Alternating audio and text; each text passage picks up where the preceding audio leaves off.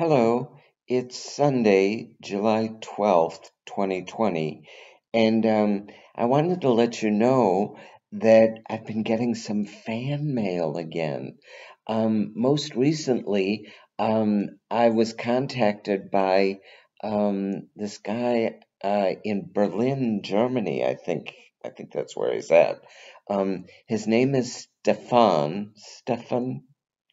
Um, and uh, he wrote me um, uh, uh, very nice feedback about uh, one of my previous videos about um, um, Dame Judith Anderson. Uh, apparently, he, like me, uh, is also a big fan of that legendary um, British uh, actress, um, Dame Judith Anderson, who I had an opportunity to see live on stage uh, at the end of her career in Chicago in the, um, I think it was in the 1960s. Um, so anyway, he wrote me about how much he enjoyed my little recollection about seeing her in a, a production of Hamlet, where she was playing the role of Hamlet. So it was very nice, um, and I thanked him for that. And I visited his YouTube channel, uh, which I thought was very interesting. He has all sorts of um, interesting videos that he's posted there, including uh, some uh, videos of the legendary female impersonator Charles Pierce, um, who I also was a fan of, and I had the opportunity to see Charles Pierce live on stage um, in Dallas.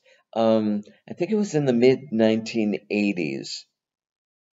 And he came to Dallas, and um, I think the uh, he performed at uh, the theater in um, downtown Dallas I think originally it was a big old uh, movie palace uh, from the golden age of Hollywood. I think it was called the Majestic Theater, which, um, like so many of them, had been run down and in disrepair. But uh, sometime, uh, uh, you know, some wealthy Texans, you know, um, I guess refurbished uh, the Majestic Theater, and I remember it was quite majestic. It was just wonderful.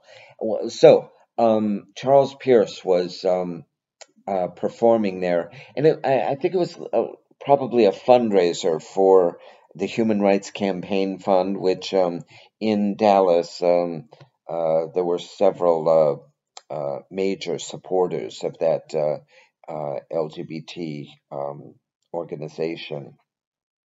So, uh, some friends and I uh, went to see Charles Pierce live in concert, and he was brilliant. I mean, he's such a wonderful, wonderful performer and, and very engaging with his audience. And of course, very, very famous for his um, Bette Davis impersonation and uh, Joan Crawford and, you know, all the uh, uh, legendary uh, uh, gals of um, uh, the Hollywood's golden age and all.